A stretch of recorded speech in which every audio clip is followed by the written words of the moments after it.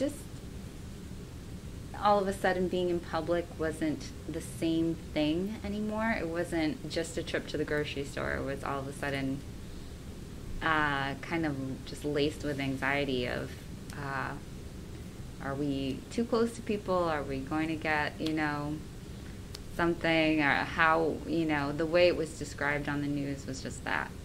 It was just so, you know, incredibly dangerous, you know, so easy to contract, so you know, so we really didn't know what to expect.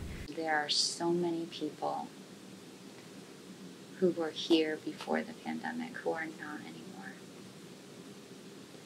And they can't hug their loved ones, and they can't go out and see a brand new day or the sunshine or just talk to a friend on the phone these simple things in life.